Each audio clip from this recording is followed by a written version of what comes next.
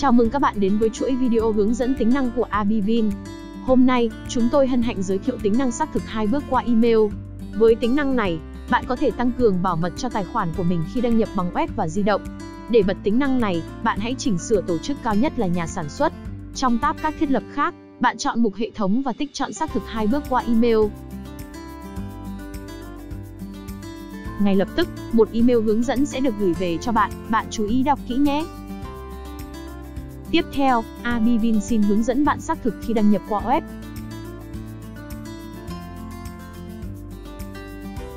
Sau khi đăng nhập, một pop-up sẽ hiện ra yêu cầu bạn nhập mã xác minh.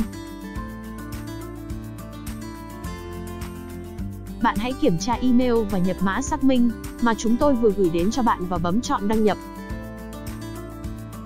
Tương tự, bạn cũng có thể xác thực hai bước khi đăng nhập trên ứng dụng di động. Sau khi nhập tên người dùng và mật khẩu, bạn cũng cần kiểm tra email để lấy mã xác thực. Bạn nhập mã xác thực và chọn đăng nhập để vào hệ thống. Vậy là chúng tôi vừa hướng dẫn bạn cách sử dụng tính năng xác thực hai bước qua email. Xin cảm ơn bạn đã sử dụng phần mềm Abivin của chúng tôi.